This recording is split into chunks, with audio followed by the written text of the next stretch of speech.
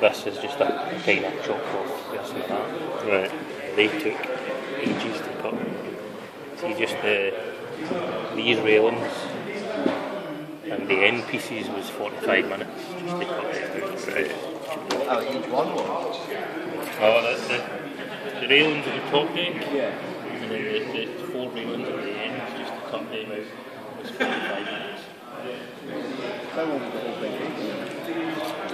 I've probably been working on it for about three weeks. And the last two weekends it's been spent cutting it out. See, there's about five or six hours worth of actual machining on it, um, which isn't too bad for, I suppose for what it is. if, do if, you you're not, what I mean? if you're not machining it manually, then C'est la vie. Right. And then what it's been making a bit and then it's been fitted so to redraw it and then recut it. If it was to just stand in what's it probably get